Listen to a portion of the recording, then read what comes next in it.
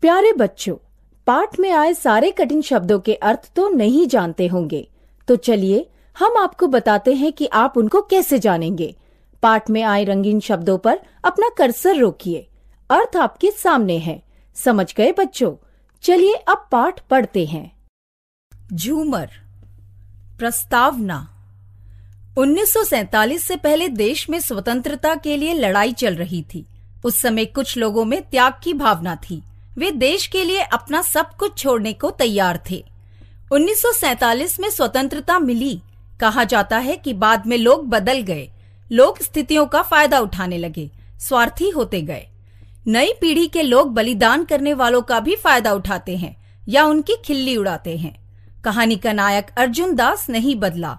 उसे लगता था कि उसकी पत्नी उसके स्वभाव के कारण उससे नाराज़ है। कहानी का आखिरी अंश पत्नी के मनोभाव को प्रकट करता है। खुले मैदान में अर्जुन दास कुर्सी पर बैठा सुस्ता रहा था। मैदान में धूल उड़ रही थी। पावों को मच्छर काट रहे थे। इस रंगोत्सव में उसे पुरस्कार देने के लिए बुलाया गया था।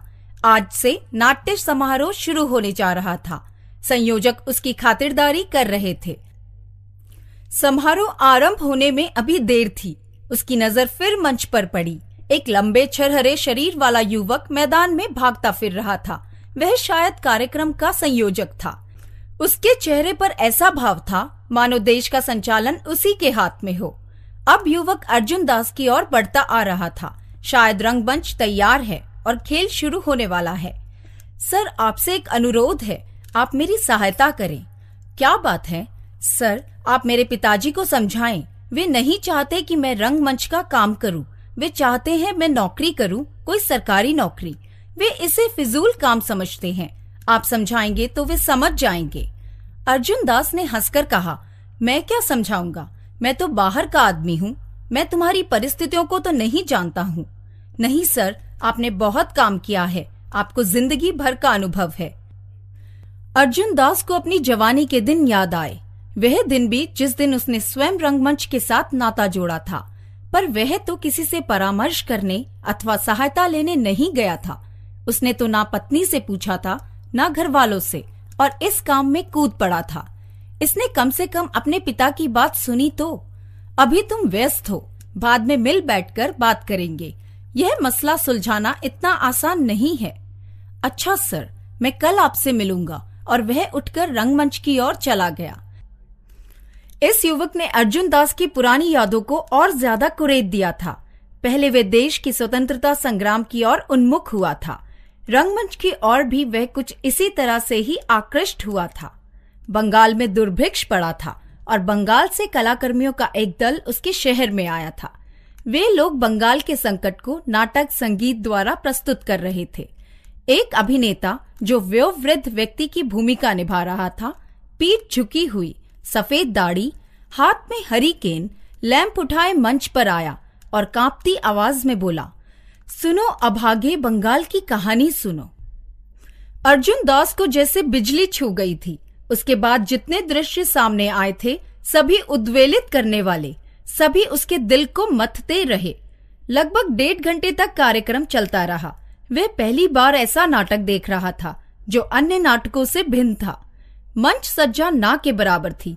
दृश्य श्रृंखलाबद्ध भी नहीं थे, पर उनमें कुछ था जो सीधे दिल में उतरता था। अंत में उसी व्योवृद्ध ने मंच पर से उतरकर दुर्भिक्ष पीड़ितों के लिए झोली फैलाई। तभी अर्जुन दास के आगे वाली सीट पर बैठी एक भाव विह्वल युवती ने अपने कानों में से झिलमिलाते सोने के झूमर उतारकर व्योवृद्ध की झोली में डाल दिए थे, और उसी क्षण मानो अर्जुन दास के जीवन का ढंग भी बदल गया था। उसने किसी से परामर्श नहीं किया और रंग कर्मियों की टोली में शामिल हो गया। उसके कानों में फिर से उसकी पत्नी का वह वाक्य गूंज गया, जिसे वह अक्सर कहा करती थी, तुम्हें ब्याह नहीं करना चाहिए था। तुम जैसे लोग ब्याह करके अपने घर वालों को भी दुखी करते हो और खुद भी दुखी होते हो। अर्जुन दास को धनोपार्जन के लिए कोई धंधा नहीं सूझा था। उसने पुस्तकों की दुकान खोल ली थी। यह काम रंग कर्म के आड़े नहीं आता था। कभी कभी छोटी मोटी पूंजी लगाकर पुस्तकें प्रकाशित भी कर देता, पर दुकान खोल देना एक बात है, उसे चलाना बिल्कुल दूसरी बात। लोग बाग मुफ़्त में पुस्तकें उठाकर ले जाते, अपने पैसे लगाकर पुस्तक छापता। पुस्तक विक्रेता महीनों तक अदायगी नहीं करते। दुकान पर मित्रों रंग कर्मियों का तांता लगा रहता। सभी अर्जुन दास की जेब से चाय पीते और गप्पे हाँकते। कमला तो मन ही मन कुड़ती रहती। जब बच्चे कुछ बड़े हुए तो वह स्वयं दुकान पर जाकर बैठने लगी थी। इससे कुछ तो इस महादान पर अंकुश लगेगा। चाय की प्यालियाँ कुछ तो कम होंगी और इसके निगोड़े साथियों को कुछ तो शर्म आएगी। पर दुकान पर बैठने का मतलब था, घर पर भी पिसो और दुकान पर भी। तभी कमला ने निश्चय किया कि वह किसी स्कूल में नौकरी कर लेगी। जिस दिन उसे एक प्राइमरी स्कूल में नौकरी मिली और उसने दुकान पर लड्डू बांटे, उसी दिन उसने पति से यह कह भी दिया, अब तुम स्वतंत्र हो, जो मन में आए करो। इसके महीने भर बाद अर्जुन दास जेल खाने में पहुँच गया था। पूरे दो साल तक अर्जुन दास जेल में रहा था और पूरे दो साल तक कमला प्रति सप्ताह उससे मिलने पाँच मील दूर जेल खाने जाती रही थी। जीवन की कठिनाइयों को देखने के अलग अलग नज़रिए होते हैं। कमला ने अर्जुन दास की सरगर्मियों को स्वीकार कर लिया था। वह जानती थी कि वह उन्हें छोड़ेगा नहीं। इसी ढर्रे पर उसका जीवन चलेगा। जब कठिनाई बढ़ जाती तो वह रो देती। पर मन ही मन उसने अपनी नियति को स्वीकार कर लिया था। और इसका परिणाम यह हुआ कि कमला की भावनाओं में से कटुता और झल्लाहट कम होने लगी थी। कभी कभी उसके मन में उसके प्रति सहानुभूति सी उठने लगी थी। आज़ादी के बाद कुछ ही सालों में बड़ा अंतर आ गया था। उसके अनेक साथी छिटक कर अलग हो गए थे। वैद्य रामानाथ का औषधालय चल निकला। हंसराज को ठेके पर ठेके मिलने लगे। मोहन सिंह विदेशी दूतावासों के साथ संपर्क बढ़ाने लगा। उनके पेम्फलेट छापता और देखते ही देखते उसने अर्जुन दास के ही मोहल्ले में एक दो मंजिला मकान खरीद लिया। उसकी आँखों के सामने बोधराज का चेहरा घूम गया। बोधराज स्वतंत्रता संग्राम के विलक्षण सेनानी रह चुके थे। जीवन के 16 वर्ष जेल में काट चुके थे। हुआ यह कि हंसराज, जो आज़ादी के बाद ठेके लेने लगा था, बोधराज को राजधानी में ले गया था। वहाँ वह उन्हें किसी केंद्रीय नेता के पास ले गया। केंद्रीय नेता बड़े आदर सत्कार के साथ बोधराज से मिले थे। हंसराज को धन्यवाद कहा था कि उसके सौजन्य से वे एक अनन्य देश सेवी के दर्शन कर पाए हैं। हंसराज ने ही यह सुझाव रखा कि एक समाज कल्याण योजना बनाई जाए, जिसकी अध्यक्षता बोधराज जी करे। यह तो बहुत बाद में उन्हें चेत हुआ कि हंसराज उनके साथ दाव खेल गया है। उन्हीं का नाम लेकर उन्हीं के नाम पर पचास हज़ार रूपए का अनुदान हड़प गया है। यह उन्हें तब पता चला जब साल भर बाद सरकार की ओर से बोधराज को एक पत्र मिला कि अनुदान का हिसाब भेजें और बोधराज भौचक्के रह गए। एक दिन उसे भी एक पत्र मिला।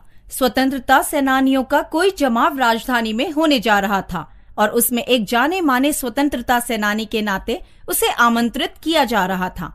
पत्र के साथ एक फॉर्म था जिसे भरकर सम्मेलन के कार्यालय को भेजना था। फॉर्म में यह पूछा गया था कि स्वतंत्रता संघर्ष में आपका क्या योगदान रहा है? कितने दिन जेल काटी? कभी भूख हड़ताल की? आदि। पत्र देखने पर उसके मन की पहली प्रतिक्रिया तो यही हुई कि चलो देर से सही, उसकी निष्ठा, उसकी कुर्बानियों की और किसी का ध्यान तो गया। कमला अभी बाहर से लौटी नहीं थी। वह कमला को यह पत्र और फार्म दोनों दिखाना चाहता था और उसकी प्रतिक्रिया जानना चाहता था। तभी अर्जुन दास को इस बात का भास हुआ कि उसकी पत्नी को उसके साथ रहते हुए बहुत कुछ सहना पड़ा है, और वह उसे कोई भी सुख सुविधा नहीं दे पाया। कमला के प्रति भावना का ज्वार सा उसके अंदर उठा था। वह राजधानी गया। उसके शहर से नौ और व्यक्ति भी गए थे। स्वतंत्रता सेनानियों का कैंप लगा था। कैंप में जगह जगह सरकारी भत्ते की ही चर्चा सुन रहा था। सरकार प्रत्येक स्वतंत्रता सेनानी का मासिक भत्ता बांधने जा रही थी। ऐसा सुनने में आया था। चारों ओर उसी की चर्चा चल रही थी। क्या सभी को एक जैसा भत्ता देंगे? इसमें क्या तुक है? जिसने तीन महीने जेल काटी है, उसे भी उतना ही भत्ता मिले जितना उस आदमी को जिसने ग्यारह साल जेल काटी है। कोई कह रहा था, कौन दरियाफ्त करने जाएगा कि मैंने तीन महीने जेल काटी है या तीन साल? भत्ता मांगने वालों में ऐसे भी लोग होंगे जो झूठी दरख्वास्तें देकर भत्ता मंजूर करवा लेंगे। दो आदमियों को उसने फुसफुसाते हुए भी सुना था। दरख्वास्त तो दे दो, जो मन में आए भर दो, तस्दीक करवा लेंगे। तस्दीक करने वाला भी मिल जाएगा, क्या मुश्किल है? नतीजा यह हुआ कि वह कार्यालय में अपना फार्म दिए बिना घर लौट आया था। क्या मैं जेल इसलिए गया था कि एक दिन मैं उसके लिए भत्ता मांगूँगा? कमला चुप रही थी। वह ना तो निराश हुई थी, ना ही आश्वस्त। केवल मुस्कुराकर सिर हिला दिया था।